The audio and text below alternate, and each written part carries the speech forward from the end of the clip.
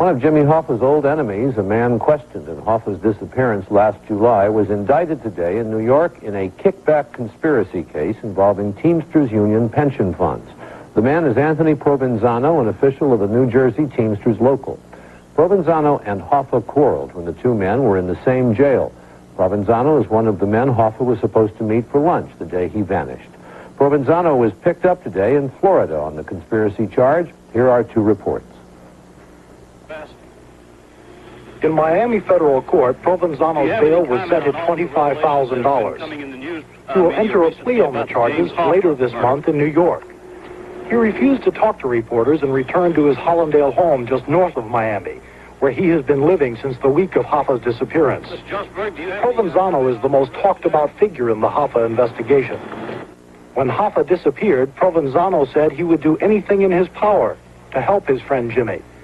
Many federal agents believe it was Provenzano's power which caused Hoffa's disappearance, but so far they have been unable to prove that. They do have evidence that the Hoffa-Provenzano relationship was anything but friendly. That relationship came under investigation in Detroit in September when Provenzano was brought before a federal grand jury there.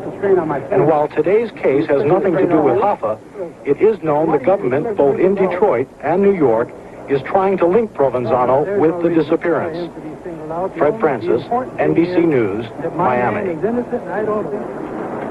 NBC News has learned that Provenzano was a major target of a two-year FBI and police undercover investigation of racketeering in the New York City garment industry.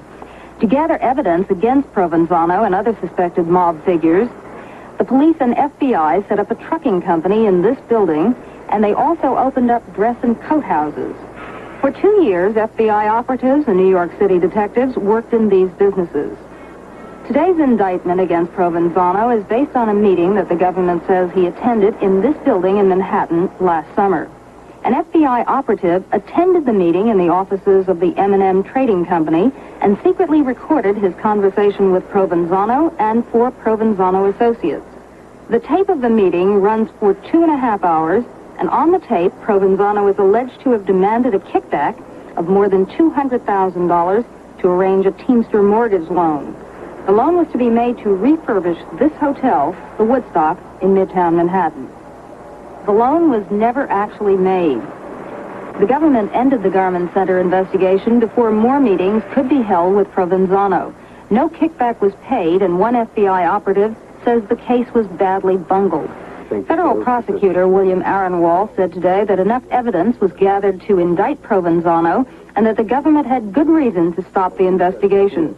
The investigation was terminated because of what we view to be a real threat to the life of one of the undercover uh, civilians involved in this case. And although we would have loved to have been able to continue the investigation further, uh, common sense uh, dictated to us that it would be safest to terminate the undercover phase of the investigation so that we would be able to capitalize on the evidence that had thus far been obtained. Teamster officials in New York say that Provenzano, shown here with Hoffa, remains a powerful figure in the union despite his trouble with the law. And law enforcement sources say the kickback conspiracy case against Provenzano is weak because government lawyers were in too much of a rush to indict him. Norma Quarles, NBC News, New York. At the Detroit end of the Hoffa case, the government put pressure on one of Provenzano's New Jersey Teamster associates. Robert Hager has the story on how that was done. The government is trying to force a New Jersey Teamster official named Stephen Andretta to talk to a grand jury here.